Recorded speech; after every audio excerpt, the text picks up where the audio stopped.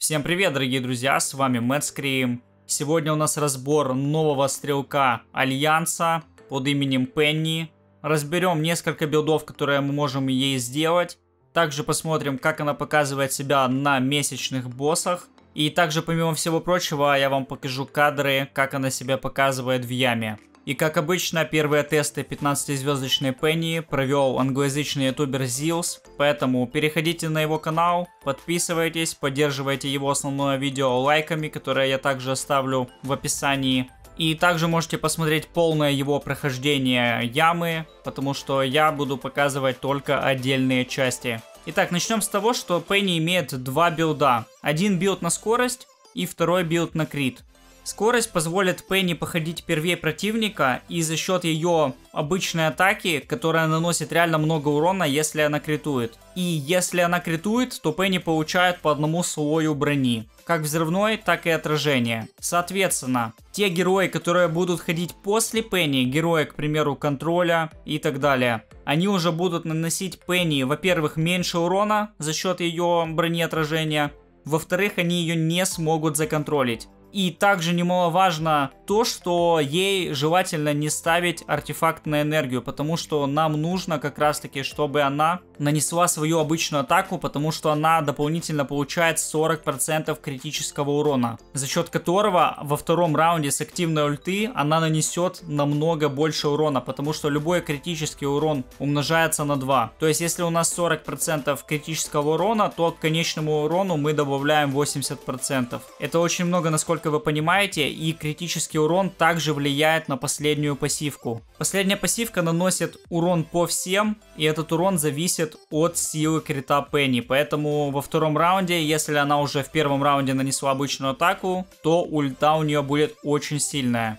Что касается активного навыка, то она атакует противника с наибольшим количеством здоровья. Только это наибольшее здоровье имеется в виду не максимальное на поле боя, а текущее. То есть, к примеру, если у противника Аида имеет 30% здоровья, а Валька имеет 20% здоровья, то Пенни будет атаковать как раз таки Аиду. Далее, что касается отраженного урона у Пенни, который мы наносим с брони, 50% мы их никак не можем усилить. То есть это всегда останутся 50% от полученного урона. Помимо всего прочего, Пенни отражает только обычную атаку и активный навык не отражает пассивный урон, который наносит тот же мим, или же постепенный. Далее, что касается точности. По последним изменениям 1% точности добавляет 0.3% бонусного урона. Соответственно, Пенни имеет 100% точности пассивные, и 15% она имеет с науки, если она у вас вкачана, конечно. И таким образом она получает дополнительно 35% к конечному урону.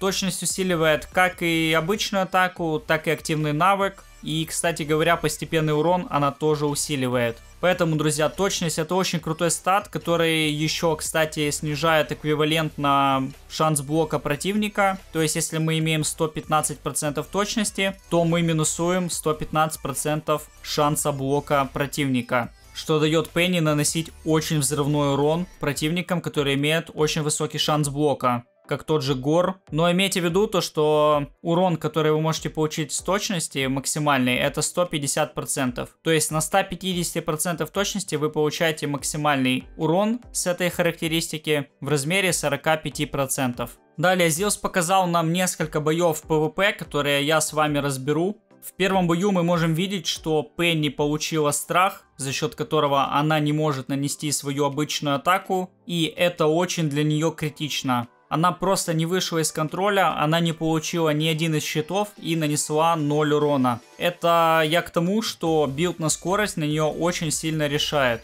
Если вы ее будете разгонять на крит, то цифры будут просто космические, но ей нужно давать бить. То есть ей нужно нанести хотя бы один крит для того, чтобы она уже была защищена.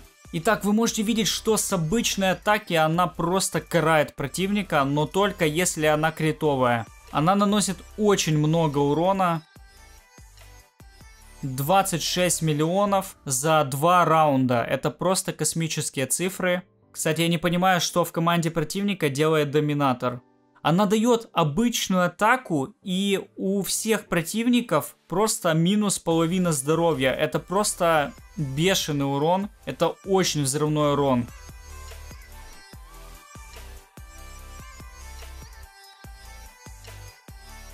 42 миллиона урона просто за пару раундов.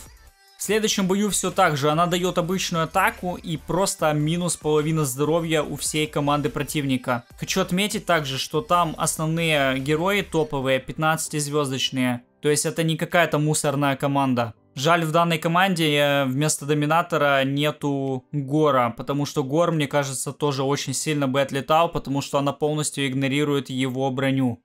Далее, друзья, полнейший фан. Зиос решил поставить данного героя просто с аурой Redemption, с героями первого уровня, и вы можете видеть, что она все так же наносит космические цифры урона.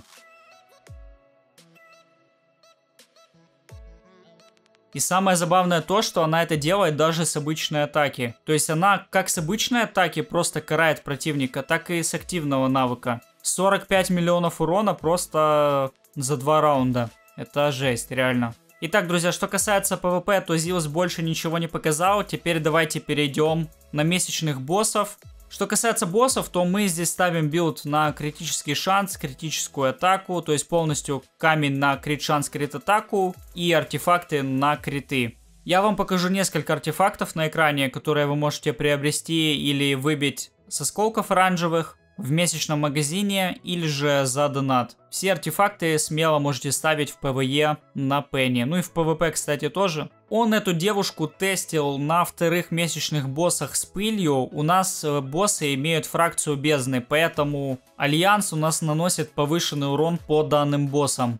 На втором месячном боссе она нанесла 1,2 миллиарда урона, он зашел на этого босса только один раз, потому что там было у него мало здоровья, и дальше он не смог его протестить. Более детально он протестил третьего месячного босса. На третьем месячном боссе вы ставите на 15 звезде отхил с крита, Поэтому ей абсолютно не нужен никакой хил. Конечно же, здесь в команде у него использовалось много героев, которые снижают атаку. Та же Валька, ХВ. Хотя, да, всего два героя, но все равно. Эти два героя очень сильно снижают атаку противника. Плюс у него стоял Амос на подсейве, который постоянно захиливал. Но в любом случае, мы на босса ставим отхил за счет крита. И на третьих месячных боссах она нанесла также 1,1 миллиард что просто очень круто. Это реально очень крутые цифры на третьем месячном боссе, друзья. Конечно же, они по большей части зависят от того, что здесь фракционная прибавка идет, но все же это очень крутой результат, который он достиг также с оборотнем волком. И хочу вам сказать, что у него не какая-то крутая команда, которая прям разгоняет данную Пенни. То есть он здесь даже без Круса. Крус э, потенциально мог бы разогнать Пенни еще больше. Я думаю, это видео ответит на вопрос, стоит ли ее качать, потому что очень многие сейчас шумят по поводу нового приста тьмы, жреца тьмы, которого мы также разберем в одном из следующих видео. Но, друзья, вот этот стрелок Альянса, он тоже не менее имбовый. Давайте подытожим, у нас есть два билда. Один на скорость и один на крит. На скорость только на PvP, крит как PvP, так и PvE. Это также зависит от того, сколько контроля у вас в команде. Если у вас команда с множеством контроля, то они позволят Пенни наносить свои атаки, соответственно, вы можете ставить на нее крит. Герой с первого раунда наносит взрывной урон, прям нереально взрывной урон, пробивает все блоки, пробивает высокое количество здоровья за счет своих поджогов, которые игнорируют броню. Все взрывает взрывается, все пуляется, имеет, можно сказать, полный иммунитет от контроля, получает сниженный урон, который еще и отражает. В общем, герой, друзья, просто next level. Я когда честно скажу, первый раз прочитал ее навыки, я просто был в шоке, потому что этот герой выглядит как будто не из этой игры. То есть он реально очень крутой, имеет в себе сразу несколько очень крутых механик. И данный герой мне понравился больше даже, чем приз тьмы. Потому что заранее мы уже знали, какие навыки будет иметь приз тьмы, не было никакой интриги, и поэтому, наверное, Стрелок меня, можно сказать, удивил. Героя без вариантов стоит качать. Один из самых сильных героев сейчас в Альянсе будет. Поэтому смело можем ставить ее в ауру той же Радуги, в Redemption. Поэтому, друзья, если вы не получили на этом ивенте Жреца Тьмы, то смело можем качать Пенни и радоваться жизни. Потому что убивать она будет все и вся. Всем большое спасибо за просмотр. Подписывайтесь на канал, чтобы ничего не пропустить. И увидимся в следующем видео.